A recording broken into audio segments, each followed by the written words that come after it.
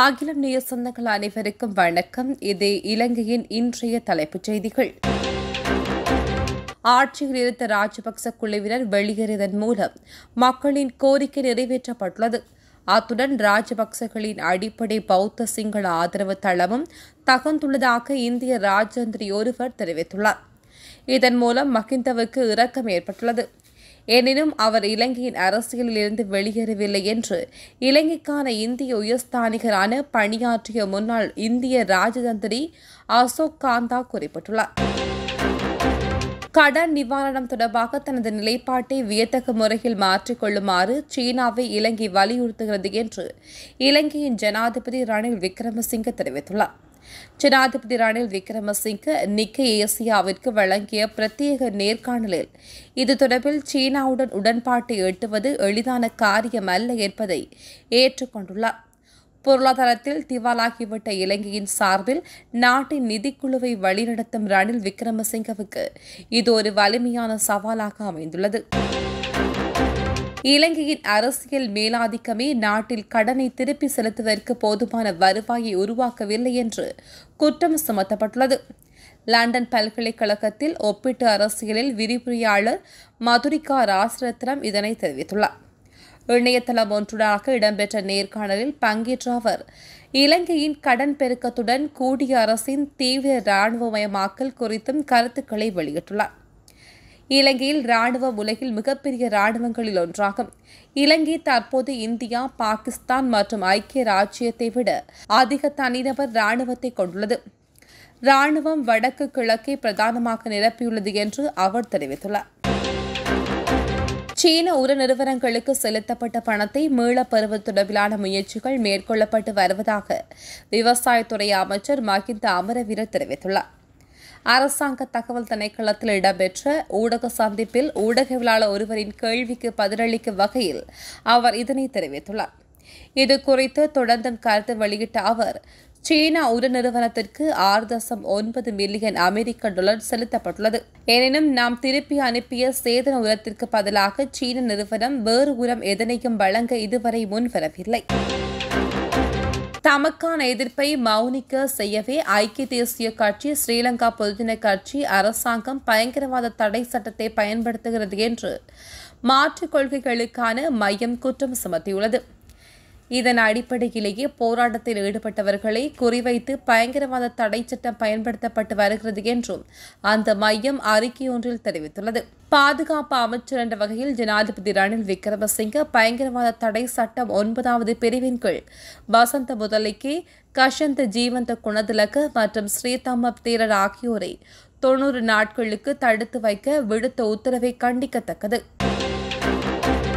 இலங்கை எதிர்கொண்டுள்ள நிதி நெருக்கடிக்கு தீர்வு வழங்குவதற்காக சர்வதேச நாணய நிதியத்துடனான ஆரம்ப கட்ட கலந்துரையாடல் ஒன்று ஜனாதிபதி ரணில் விக்ரமசிங்க தலைமையில் ஜனாதிபதி அலுவலகத்தில் இடம்பெற்றது. இலங்கையின் நிதி நெருக்கடியின் தற்போதைய நிலைமை குறித்து இங்கு கலந்துரையாடப்பட்டது. மேலும் எதிர்வரும் இருபத்தி ஆறாம் தேதி வெள்ளிக்கிழமை இந்த கலந்துரையாடலில் மற்றொரு சுற்று கலந்துரையாடலை நடத்துவதற்கும் எதிர்காலத்தில் மத்திய வங்கி அதிகாரிகளுடன் தொழில்நுட்ப விடயங்கள் தொடர்பில் கலந்துரையாடுவதற்கும் தீர்மானிக்கப்பட்டுள்ளது. இலங்கையில் உள்ள மாற்றுப்பாலின சமூகங்களின் உரிமைகளை பாதுகாக்கும் நோக்கில் குற்றவியல் சட்டத்தை திருத்துவதற்கான திருத்த சட்டமூல வரைவு நேற்று ஜனாதிபதி ரணில் விக்ரமசிங்கவிடம் நாடாளுமன்ற உறுப்பினரும் சட்டத்திறனியுமான பிரேமநாத் சி தொலவந்தவினால் கையளிக்கப்பட்டது. தண்டனை சட்டம் திருத்த சட்டம் மூலம் சட்டத்திரணி பிரேமநாத் சி டொலவந்தவினால் தனிப்பட்ட உறுப்பினர் பிரணியாக கொண்டுவரப்பட்டுள்ளது. இது தொடர்பான அறிவிப்பை வெளியிட்டுள்ள ஜனாதிபதி ஊடக பிரிவு. மாற்றுப்பாலின சமூகம் தொடர்பில் இலங்கை மிகவும் பிற்போக்கான சிந்தனையை கொண்டுள்ளதாகவும் இதன் காரணமாக அன்றாட வாழ்வில் மட்டுமன்றி அரசு மற்றும் சட்ட அமுலாக்க நிறுவனங்களிலும் இந்த சமூகம் பலவிதமான வன்முறை மற்றும் துன்புறுத்தலுக்கு ஆளாகியுள்ளது. முட்டையொன்றை ஐம்பது ரூபாய் சில்லறை விலையில் விற்க முட்டை உற்பத்தியாளர் சங்கம் ஒப்புக்கொண்டுள்ளது. வர்த்தக அமைச்சருடன் இடம்பெற்ற கலந்துரையாடலின் போதே இதற்கான இணக்கம் காணப்பட்டுள்ளது. கடந்த வெள்ளிக்கிழமை நள்ளிரவு முதல் அமுலாகும் வகையில் வெள்ளை முட்டையொன்றின் சில்லறை விலை நாற்பத்தி மூன்று ரூபாவாகவும் சிவப்பு அல்லது பழுப்பு முட்டையொன்றின் விலை நாற்பத்தி ஐந்து ரூபாவாகவும் அறிவித்து நுகர்வோர் விவகார அதிகார சபையினால் வர்த்தகமானி வெளியிடப்பட்டது. மூட்டை உற்பத்தி செலவை விட உற்பத்தியாளர்களுக்கு ஐந்து ரூபாய் லாபம் கிடைக்கும் வகையில் விலை நிர்ணயம் செய்யப்பட்டுள்ளதாக இது தொடர்பிலான விலையை அறிவித்த வர்த்தகத்துறை அமைச்சர் தெரிவித்துள்ளார். கோட்டா கோகம போராட்டத்தின் மீதான தாக்குதல் தொடர்பில் சந்தேக நபர்களாக பெயரிடப்பட்டுள்ள டான் பிரியசாந்த் மற்றும் நாடாளுமன்ற உறுப்பினர்களான சனத் நிஷாந்த மிலான் ஜெயதிலக்கு ஆகியோரின் கையடக்க தொலைபேசிகளை குற்றப்புலனாய்வு திணைக்களத்திடம் இன்று ஒப்படைக்குமாறு நீதிமன்றம் உத்தரவிட்டுள்ளது. கை தொலைபேசிகள் கையளிக்கப்படும் வரை சந்தேக நபர்களை நீதிமன்றத்தில் தடுத்து வைக்குமாறு கொழும்பு கோட்டை நீதவான் திலினக்கமைக்கு மேலும் உத்தரவிட்டுள்ளார். தொலைபேசிகளை கையளித்த பின்னர் குறித்த சந்தேக நபர்களை விடுவிக்குமாறு நீதவான் மேலும் உத்தரவிட்டுள்ளார். முன்னாள் ஜனாதிபதி மஹிந்த ராஜபக்சவின் மூன்றாவது மகன் ரோஹித ராஜபக்சவுக்கு சொந்தமானது என்று கூறப்படும் சொகுசு விருந்தகத்திற்கு கடந்த மே பத்தாம் தேதியன்று தீயூட்டியதாக குற்றம் சுமத்தப்பட்டு நான்கு பேர் கைது செய்யப்பட்டுள்ளார்கள். இவர்கள் கடந்த திங்கள் மற்றும் செவ்வாய்க்கிழமைகளில் கொலன்ன காவல்துறையினால் கைது செய்யப்பட்டுள்ளார்கள். சிங்கராஜாவுக்கு அருகேவில் கொலன்ன எப்பிலிப்பிட்டிய கொங்கலகந்தவில் கிரீன் ஈகோ லாட்ஜ் என்ற இந்த விருந்தகம் அமைந்துள்ளது. மே பத்தன்று எதிர்ப்பாளர்கள் இந்த விருந்தகம் தீக்கிரையாக்கப்பட்ட போது அது மஹிந்த ராஜபக்சவின் மகன்களில் ஒருவருடையது என்ற தகவல் வெளியாகியது.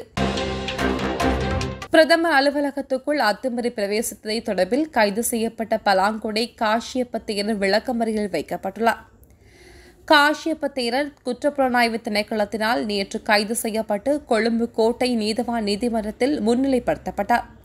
இதனை அடுத்து அவரை எதிர்வரும் இருபத்தி ஆறாம் தேதி வரை விளக்க மடிகையில் வைக்குமாறு நீதவான் உத்தரவு பிறப்பித்துள்ளது. இதேவேளை ஜனாதிபதி செயலகத்திற்கு பலவிதமாக பிரவேசித்ததாக குற்றம் சுமத்தப்பட்ட இலங்கை ஆசிரியர் சங்கத்தின் பொதுச் செயலாளர் ஜோசப் ஸ்டாலின் உள்ளிட்ட நால்வர் கொழும்பு கோட்டை நீதவான் நீதிமன்றத்தால் பிணையில் விடுவிக்கப்பட்டுள்ளார்கள். சந்தையில் கோழி இறைச்சியின் விலையில் வீழ்ச்சியும் முட்டைக்கு தட்டுப்பாடும் ஏற்பட்டுள்ளதாக அகில இலங்கை கோழி பண்ணையாளர் சங்கம் தெரிவித்துள்ளது. அதன் தலைவர் ஆர் எம் ரத்நாயக்க கூறுகையில் முட்டை கட்டுப்பாட்டு விலையில் ஏற்பட்டுள்ள சிக்கல் காரணமாக முட்டை உற்பத்தி செய்யும் விவசாய கோழிகளை விற்க வேண்டிய நிலை ஏற்பட்டுள்ளது. இதன் காரணமாக சந்தையில் ஒரு கிலோ கோழி இறைச்சியின் விலை எழுநூறு ரூபாய் வரை குறைந்துள்ளதாக அவர் தெரிவித்துள்ளார்.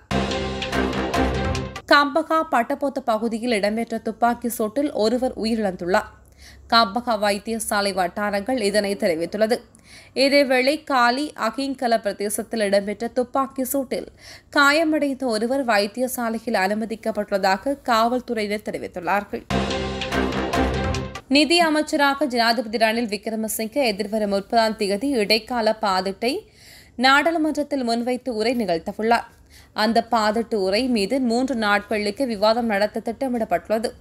அதற்கமைய ஒதுக்கீட்டு திருத்த சட்டம் மூலம் மீதான விவாதம் எதிர்வரும் முப்பத்தி ஒன்று செப்டம்பர் முதலாம் மற்றும் இரண்டாம் தேதிகளில் நடத்தப்பட உள்ளது வெளிநாட்டு வேலை வாய்ப்புகளுக்காக செல்பவர்கள் விரைவாக தமது கடவு சட்டை பெற்றுக்கொள்வதற்கு வசதியாக குடிவரவு குடியகல்வு திணைக்களத்தில் விசேட கருவப்பீடம் ஒன்று ஸ்தாபிக்கப்பட்டுள்ளது. இலங்கை வெளிநாட்டு வேலைவாய்ப்பு பணியகம் மற்றும் குடிவரவு குடியகல்வு திணைக்கள அதிகாரிகளுடன் கடந்த வாரம் இடம்பெற்ற கலந்துரையாடலை அடுத்து இந்த விசேட கருமப்பிடத்தை ஸ்தாபிக்க வெளிநாட்டு வேலைவாய்ப்பு அமைச்சர் மனுஷ நாணயக்காரர் அனுமதி அளித்திருந்தார். முன்னோடி திட்டங்களில் இருந்து பெறப்பட்ட தரவுகளின் அடிப்படையில் வேலை வாய்ப்புகளுக்காக வெளிநாடு செல்ல விரும்பும் அனைத்து இலங்கையர்களுக்கும் வசதியாக நேற்று முதல் இந்த விசேட கருவப்பிடத்தை திறக்க தீர்மானிக்கப்பட்டுள்ளது. அபி ஜனபல கட்சி எனப்படும் எமது மக்கள் கட்சியின் தவிசாளர் சமன் பெரிரா கைது செய்யப்பட்டுள்ளார். கடந்த ஜூன் மாதம் ஐந்தாம் தேதி குடாவில பகுதியில் இடம்பெற்ற கொலை சம்பவத்துடன் தொடர்புடைய சந்தேக நபர்களுக்கு அடைக்கலம் கொடுத்த குற்றச்சாட்டில் அவர் கைது செய்யப்பட்டுள்ளதாக காவல்துறை தெரிவித்துள்ளது. தாங்காலை காவல்துறையால் இன்று அவர் கைது செய்யப்பட்டுள்ள நிலையில் மேலதிக விசாரணைகளை முன்னெடுக்க நடவடிக்கை எடுக்கப்பட்டுள்ளது. தொடர்ந்து இயந்திரம் மற்றும் தொடர்ந்து பெட்டிகளை பராமரிப்பதற்கான பொருட்கள் இல்லாமையால் தொடர்ந்து சேவையினை முன்னெடுத்துச் செல்ல முடியாத சூழ்நிலை உருவாக்கியுள்ளதாக தொடர்ந்து தொழிற்சங்கங்களின் ஒன்றியம் தெரிவித்துள்ளது. திருத்த நடவடிக்கைகளின் போது பயன்படுத்தப்பட்டு வரும் உராய்வு எண்ணெய் இல்லாததன் காரணமாக இருபது இயந்திரங்கள் சேவையிலிருந்து நீக்கப்பட்டுள்ளதாக அந்த சங்கங்களின் ஒருங்கிணைப்பாளர் எஸ்பி விதானகி தெரிவித்துள்ளார். அத்துடன் தேவையான பகுதிகள் இல்லாமையால் இயந்திரங்களை திருத்தப்பட வேண்டிய காலப்பகுதியில் திருத்த நடவடிக்கைகள் மேற்கொள்ள முடியாத நிலை உருவாக்கியுள்ளதாக குறிப்பிட்டுள்ளார். இலங்கையின் கடற்பரப்பில் கடந்த ஆண்டு தீப்பற்றி எரிந்த எக்ஸ்பிரஸ் பேர்ல் கப்பலில் இருந்து வெளியான கழிவுப் பொருட்களை அகற்றுவதற்கு தொண்ணூறு கோடிக்கு முப்பத்தி ஏழு லட்சத்து ஐம்பத்தி ஏழாயிரத்து இருநூற்றி தொன்னூற்றி மூன்று ரூபாய் ஒதுக்கப்பட்டுள்ளது. இந்த கழிவுப் பொருட்கள் மன்னாரிலிருந்து ஹம்பாந்தோட்டை கிரிந்த வரையான கடற்பரப்பில் பரவியதாக நகர அபிவிருத்தி மற்றும் வீடமைப்பு அமைச்சு தெரிவித்துள்ளது. இதேவேளை சமுத்திர பாதுகாப்பு சம்பந்தமான நடவடிக்கைகளை எடுக்கும் போது அதற்கான சட்ட ஏற்பாடுகள் போதுமானதாக இல்லை என்று விடயத்துக்கு பொறுப்பான அமைச்சர் பிரசன்ன ரணதுங்க தெரிவித்துள்ளார். சீர்குலைந்துள்ள இலங்கையின் பொருளாதாரத்தை மீட்டெடுக்கும் கடினமான பணியை ஜனாதிபதி ரணில் விக்ரமசிங்கே ஏற்கனவே எதிர்கொண்டுள்ளார்.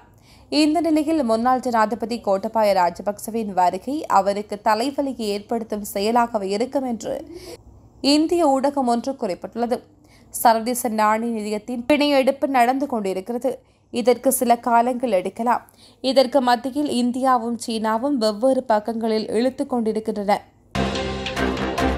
இதுபோன்ற செய்திகளை உடனுக்குடன் அறிந்து கொள்ள அகிலத்துடன் இணைந்திருங்கள். புலம்பெயர் வாழ் மக்களே தாயகத்தில் வசிக்கும் உங்கள் உறவினர்களுக்கு அத்தியாவசிய பொருட்கள் அன்பளிப்புகள் கொடுத்திட இலகு வழியை தேடுகின்றீர்களா?